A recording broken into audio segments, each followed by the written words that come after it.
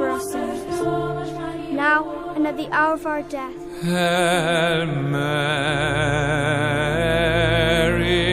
full of grace, the Lord.